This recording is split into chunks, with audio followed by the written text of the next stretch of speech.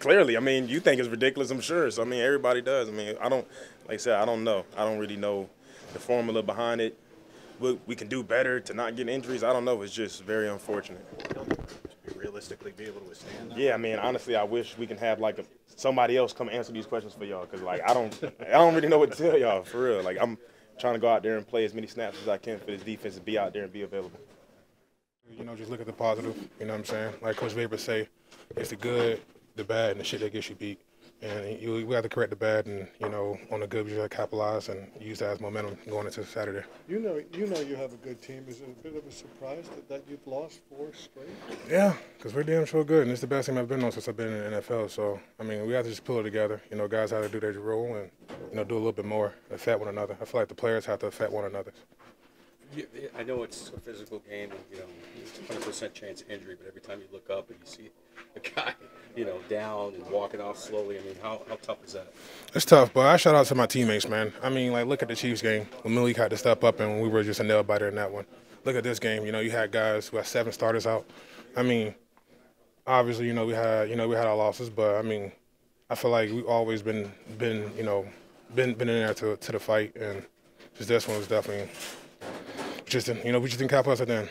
Herbert's done some great things this year. Today, he wasn't, you know, dominant, like, other than the last drive, perhaps. Do you feel like you kept him out of the end zone, two interceptions? Man, you know, the biggest thing, like um, Coach T and uh, Crow told us is, is like, you know, if we rattle him, we have a really good chance. And, you know, uh, you know, we wish we did a little bit more, you know what I'm saying? And, you know, obviously not enough to, you know, get the win and can't be satisfied. I'm damn, I'm damn sure not satisfied.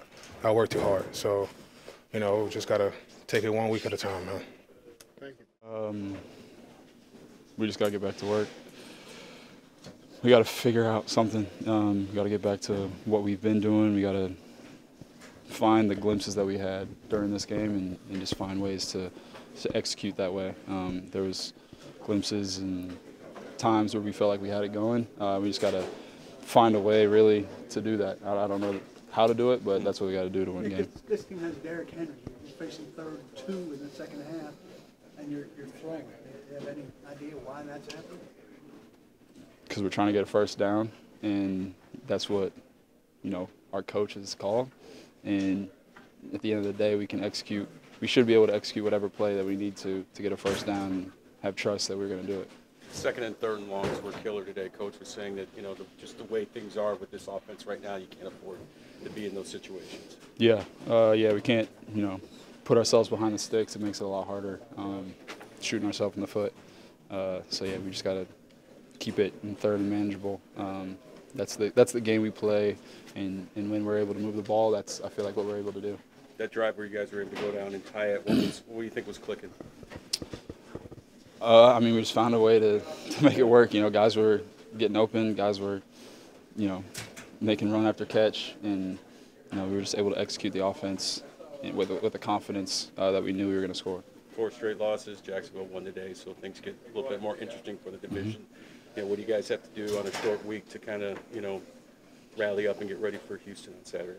We just got to come together, um, all show up, you know, with the same attitude, and same mindset of finding a way just to get a little bit better at what we do, um, and, and really just stay together, uh, going throughout throughout the week, with practice, uh, and approaching this game as a team that wants to win it together, uh, not as individuals.